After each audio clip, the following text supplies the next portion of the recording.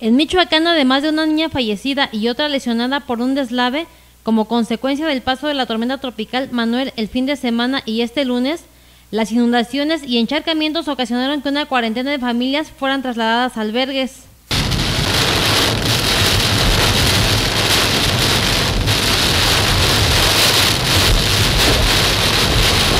Los niveles de los ríos y las presas crecieron y arrastraron con construcciones y caminos.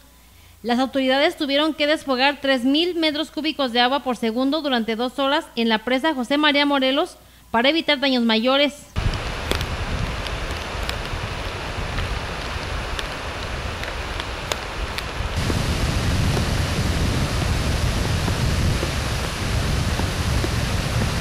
En la zona costera, palapas y palmeras fueron arrancadas. El mar está algo alterado, corrientes fuertes, olas grandes.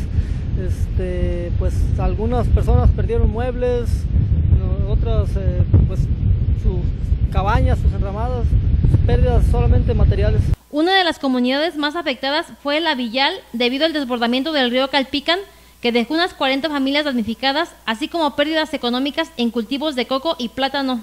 ¿Dónde estamos ahorita? Aquí en la Villal, Michoacán. ¿Qué calle es? Calle Parota. Pues este, la causa es el río Calpican, pues que falta el arrocamiento, pues que no está terminado y este es el problema que tenemos. El puerto Lázaro Cárdenas, Michoacán, se encuentra incomunicado por carreteras hacia el centro del país o hacia la carretera costera del lado de Colima por derrumbes y cierre de carreteras. En la autopista siglo XXI está cerrado el tramo de 70 kilómetros Feliciano Las Cañas, ya que una parte de la carretera se partió y permanecerá en reparación por lo menos en los próximos dos o tres días.